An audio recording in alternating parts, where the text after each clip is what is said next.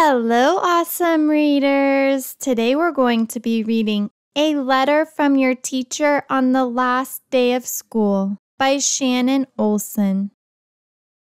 Dear student, how are you? It's me again, as your teacher and your friend. I just can't believe this school year is now coming to an end. Can you think way back to our first day of school? You might have felt unsure, meeting new friends and learning rules.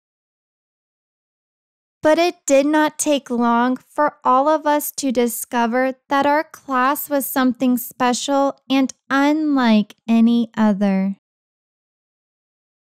We grew to be a family as you all learned and made mistakes.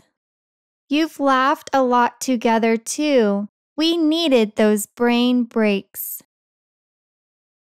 You added and subtracted and practiced strategies in math. When given a word problem, you worked to find a path. We asked questions during reading and answered quite a few. You wrote sentences with capitals, ending with punctuation too. We had fun events this year and many holidays, no less. You smiled big on picture day, and we can't forget recess. Days weren't always perfect, some work was even tough. But every time you tried your best, that was always good enough. Not only am I proud of all the hard work you have done, but you've also made good choices, and I know you've only just begun. It might feel sad to say goodbye. Change can be hard for everyone.